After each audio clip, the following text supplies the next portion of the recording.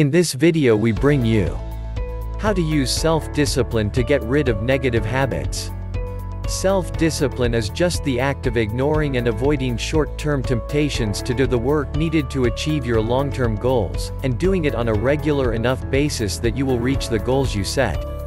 Once you start using self-discipline to reach your goals, you will realize you can use it for other things too, like getting rid of negative habits. Set yourself up for success. Identify the negative habit that you want to get rid of in very close detail. Know why you want to get rid of it. Describe why it's negative for you to keep up with this habit. Also, it's important to find something you can do instead or how you can trick your mind into not wanting to do that negative thing. It has to be a deliberate effort. You can't wish it or think it to happen. You must be fed up with the negative habits and the results it produces in your so much that you are desirous of a change. You then need to set up yourself for that change you desire. Know your triggers. If you want to stop something, try to figure out why you do it. Is it triggered by another activity? For example, people who want to quit smoking often smoke and drink coffee at the same time. When they want to quit smoking, they find it hard to enjoy their morning coffee and tend to think about the cigarette. Changing the morning drink to, or the location where you have it, can help avoid the trigger. The whole idea is that you must know or identify the particular triggers for each of the negative habits. Removing these triggers helps you to conquer the negative habit. Start small. Don't try to tackle every single negative habit at the same time. Focus on one at a time for a month at a time so that you can replace the negative habit with a good habit. The negative habits didn't happen in one day and as such cannot disappear in one day.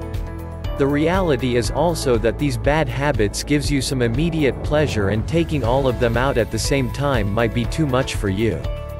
Dealing with the habits one at a time gives you a better chance of success. Schedule your actions. Anything you want to do that requires an action should be written down in a calendar. Whether it's walking, eating dinner, or spending time with your family, adding it to your schedule will help. The thing about writing this down is that it commits you to act. If you can be disciplined enough to write down your schedule, then you are more likely to follow through with your scheduled actions. Incorporate accountability. When you don't reach your goal due to the negative habit, you're trying to avoid acknowledging it. Try to figure out how to fix the problem and do better next time. Also, be accountable for success too. Feel the success so that you want to have more of it. Every time you achieve any of the things written in your schedule, tick it off and reward your success. Practice saying no more often. Most negative habits are associated with saying yes when you don't want to say yes. Learn how to say no when it is important to do so, not just to other people but also to yourself. This will help you reach your goals. Your being assertive is critical to your goal. It is not about disappointing people but for the purpose of setting boundaries. Focus on the positives. By trying to replace negative habits with positive habits, you may accidentally feel as if you're focusing on the negative.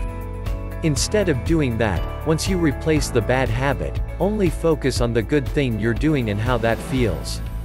Don't hesitate to talk about the positive, share it with others and let them know your progress. Be mindful. Being in tune with your feelings can help you avoid a negative habit being triggered.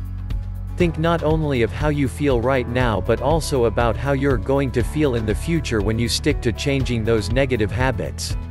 The more you work through the process, the more you'll improve your self-discipline. No one is ever going to be perfect, but you can incorporate these tips that will help you avoid anything negative which can stop you from reaching your goals. It's Psychic Fix and we are committed to you.